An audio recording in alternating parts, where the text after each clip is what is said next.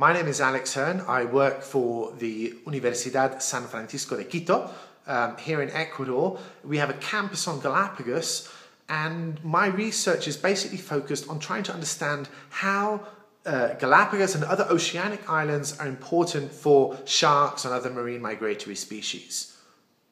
For the last 10 years, we've been tagging and tracking sharks as they move around the islands. So, in particular, hammerheads, whale sharks, silky sharks.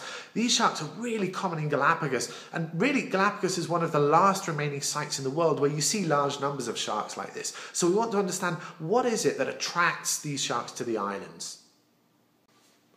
Hammerhead sharks are really the most iconic shark of Galapagos. It's the, it's the symbol of the, of the Galapagos Marine Reserve, and it's also the reason so many people come to Galapagos. It's one of the last places in the world that you can immerse yourself in schools of hundreds and thousands of sharks. It really is a fabulous experience.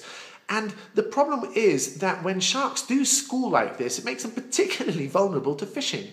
Now, now hammerhead sharks are ram ventilators. That means that when they're swim, they need to be moving to be able to breathe. So if they're stuck on a line, eventually they're going to get stressed out, they're going to suffocate and die. So even for issues like bycatch, when we would hope that sharks would be released, there's still going to be a mortality involved. In the last 20 years, there's been a huge demand for shark fin, and so shark populations have declined all over the world, and in particular, the hammerhead is vulnerable to this.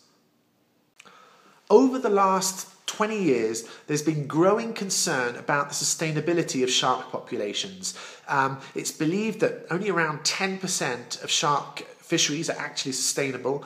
A quarter of the shark uh, species that we know of are declining. Well, Sharks are different from bony fish in several life characteristics. They tend to have very slow growth rates, they mature late in life, they're long lived, and they have very few offspring. All these characteristics makes makes them rather vulnerable to any mortality beyond natural mortality. So if we start fishing them heavily, they just don't have the capacity to replenish their numbers. Now, Added to this, there's also been a growing demand for shark fin, uh, for shark fin soup, which is a luxury item in, in, in the Chinese market. So, shark finning plus uh, th- these unfavorable life characteristics really a recipe for disaster.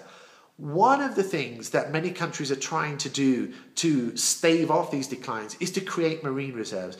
But sharks wander over huge areas of ocean. So, how much are these marine reserves really protecting the sharks? And that's where our research comes in in Galapagos, but also as part of a wider regional network. So, we have colleagues working in Malpelo and Cocos Islands, which are a few hundred kilometers away. We tag our sharks, we track them, and we try to understand whether they move between these sites. And can we then establish migratory pathways and protect those areas too? Once they leave the marine reserve.